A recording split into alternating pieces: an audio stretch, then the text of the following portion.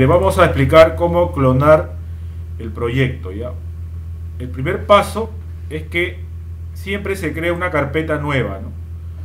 en este caso, mire, he creado una carpeta prueba proyecto. Ahí está, está en una carpeta vacía.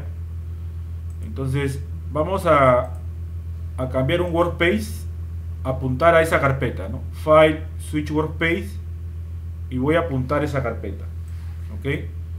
Entonces, voy a apuntar esa carpeta.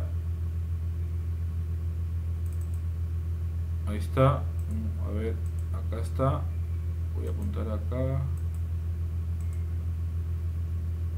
Apunto esa carpeta. Proyecto prueba proyecto. Acá está. Prueba proyecto. Apunto esa carpeta nueva que he creado. Le doy launch. Va a reiniciar y esa carpeta lo va a convertir en un workspace ¿no? ok entonces todas las configuraciones que, haga se guarda dentro de esa carpeta. ¿Ok? Entonces acuérdate que lo que estás apuntando es un workspace, no un proyecto. Un proyecto. Entonces vamos a esperar que cargue ¿ok? el Eclipse y ahí vamos a empezar a clonar. Entonces cada alumno tiene un grupo, ¿no? Cada alumno tiene un grupo y en el Excel está ahí la ruta, ¿no? La ruta en este caso del repositorio en el GitHub, que cada uno ya está inscrito. ¿no? Entonces lo que vamos a hacer es clonar ese proyecto. ¿no? Por ejemplo, se copia la ruta, ya está, y vamos a entrar al Eclipse y vamos a clonar ese proyecto. Ahora, ese proyecto ya está en el GitHub, ¿no? Usted lo puede ver acá está. Puede ver ese repositorio y eh, en este caso Ahí está, ¿no? Tiene que entrar al GitHub para poder entrar, porque los repositorios están privados, ¿no? ¿Ok? Otra cosa es que también el alumno puede ver acá los commits, ¿no? Acá los commits, entonces ahí puede ver, ¿no? ¿Ok? Eso es importante para poder verificar si ha subido o no su aplicación. Entonces, mira, ya está acá el Eclipse. Entonces, el, el, el paso para clonar es el siguiente, ¿no? Ver las vistas. Windows, Show View, otros. Windows, Show View, otros. Otros. Te vas allí y seleccionamos estas tres vistas. Ahí está.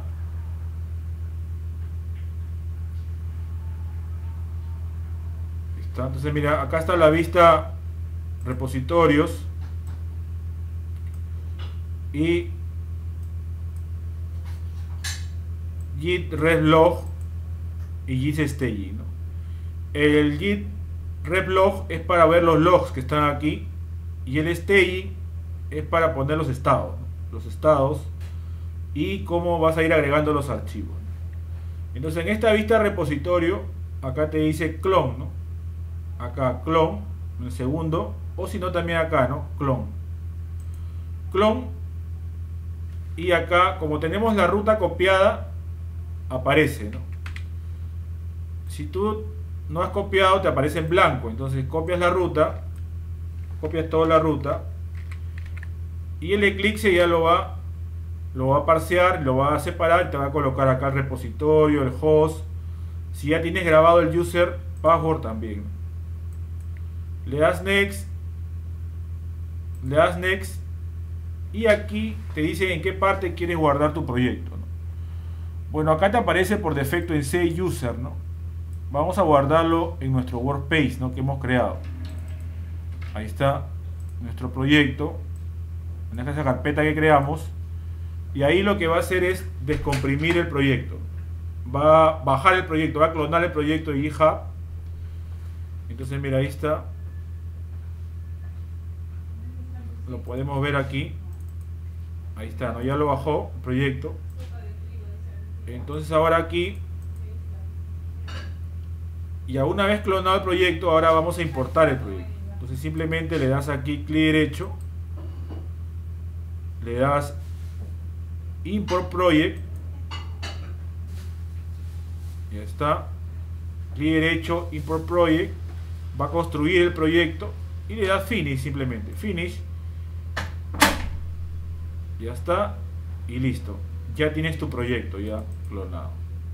Y ahí ya comienzas a trabajar. Esperas que se construya el proyecto acá en la parte inferior una barra, ¿no? Está. Construye el proyecto.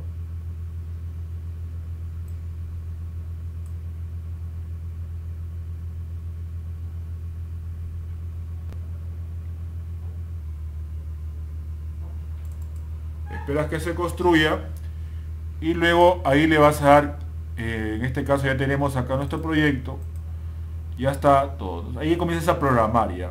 Una vez que has programado, por ejemplo, algo, ¿no? Por ejemplo, voy a hacer algún cambio pequeño acá. Por ejemplo, ¿no? Vas a comenzar a construir tus elementos, ¿no? Entonces ahora, ¿cuál es el proceso para subir? Entonces, vamos a ver acá, vamos a abrir el archivo. Entonces acá está mi código, ¿no? Entonces le voy a dar un enter, ¿no? Para un pequeño cambio. ¿no? Le voy a dar un enter Ahí está, le doy un enter, le doy guardar y acá aparece el cambio, ¿no? En esta vista Git Staging. Una vez que has programado todo, entonces ¿qué haces? Arrastras todo aquí y ahí le mandas, ¿no? Eh, solución de la práctica, del control.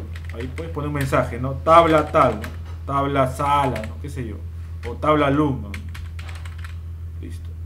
Luego, ¿qué más? Le das commit. Commit y luego, ¿qué más le das?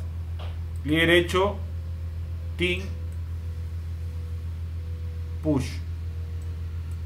Push, next, y ahí le das finish. Finish, y ahí va a subir los cambios. ¿No es cierto? Esa sería la forma como deberías trabajar. Bien muchachos, ¿alguna consulta hasta ahí?